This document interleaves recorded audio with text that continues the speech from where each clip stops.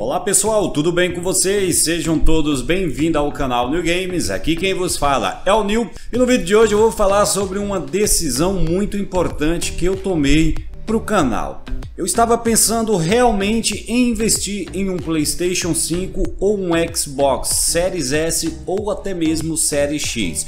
Porém, parei um pouco para pensar, refletir e alguns comentários que eu andei lendo aqui no meu canal me fez optar por esta decisão. Por isso que é muito importante você aí do outro lado dividir também as suas experiências e compartilhar suas ideias e opiniões aqui no canal. Às vezes não ajuda só a minha pessoa, mas ajuda outras pessoas também que têm várias dúvidas neste mesmo aspecto e requisito. Antes de iniciar o vídeo, eu quero pedir o seu super apoio. Se você é novo aqui no canal, gosta desse tipo de conteúdo, convido você a se inscrever, ativar o sininho de notificações. Não esqueça também de avaliar o nosso vídeo deixando o seu like. Isso ajuda bastante o nosso trabalho aqui no canal no YouTube. Sem mais delongas, sem enrolação, vamos para o vídeo. Bom, eu estava pensando realmente em investir em um PlayStation 5 aqui para o canal, até mesmo para trazer conteúdos, fazer um box, análise e sempre tem coisas boas para estar falando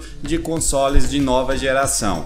Ou se não investisse no PlayStation 5 agora, eu iria investir pelo menos no Xbox Series S, que está aí na casa entre R$ 2.400 e 2.600 reais, dependendo da promoção, você paga até R$ 2.200 nesse console, né? É claro, dependendo da promoção nos sites, né? Mas o que que eu pensei? Eu tenho um PC game aqui onde eu faço os meus trabalhos, edito meus vídeos, trago conteúdo e o meu PC game, diga-se de passagem, ele é um PC razoável e modesto. Eu consigo jogar todos os jogos da atualidade do alto para baixo, eu não consigo jogar no ultra. E o que me atrapalha nesse PC na realidade é na hora de fazer live, fazer live e jogar ao mesmo tempo, porque o jogo ele precisa de memória RAM tanto do computador quanto memória RAM da placa de vídeo e ele também consome uma boa parte do processador.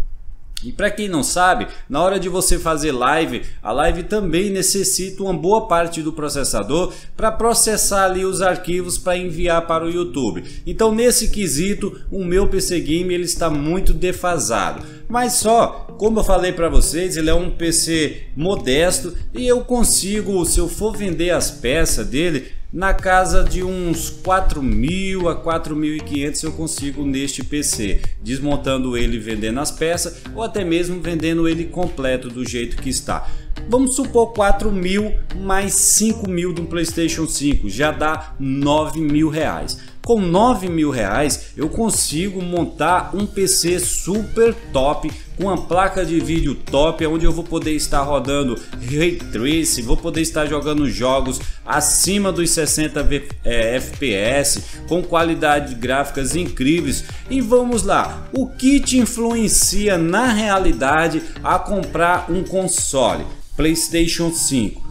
Que influencia são os jogos exclusivos. E atualmente, uma boa parte dos jogos exclusivos de PlayStation 5 vai ser lançado também para PlayStation 4, como God of War Ragnarok, Gran Turismo, né? É, Horizon, são jogos que vai sair para PlayStation 5 e também para PlayStation 4. Ou seja, estou satisfeito de jogos exclusivos no PlayStation, sem contar os jogos que eu já tenho aqui para PlayStation 4.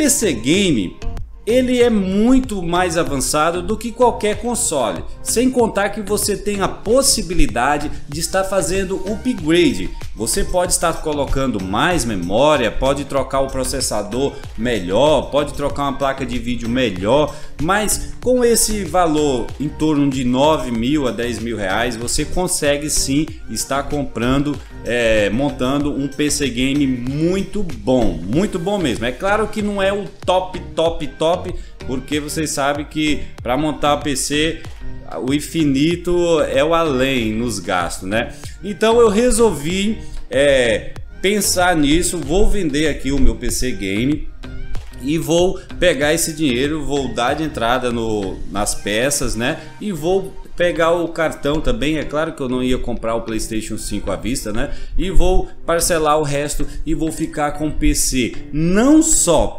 para jogar, já que a maioria dos jogos sai multiplataforma, Xbox, PC e PlayStation 5, né? Não só para jogar, mas vai me ajudar muito também a fazer live stream, a editar o vídeo com mais qualidade, podendo ev evoluir o canal, levando conteúdos até em 4K para vocês estar assistindo. Ou seja, é um investimento melhor do que o console. Sem contar que ao passar dos anos, os consoles vão cair de preço sim. É claro que não esse esse ano, não ano que vem, mas a tendência é eles baixar o preço sim, né? Aí hoje vou estar com o meu PC tranquilo e quando baixar o preço eu posso pensar em estar comprando um console de nova geração. Mas e aí, o que vocês acham da ideia? É legal? É bacana, né? Deixe aqui embaixo nos comentários, compartilhe suas opiniões, é sempre bom a gente dividir experiências, né? Bom, eu sou o New Games, vou ficando por aqui e aguardo você no próximo vídeo. Fiquem todos com Deus, até a próxima e valeu!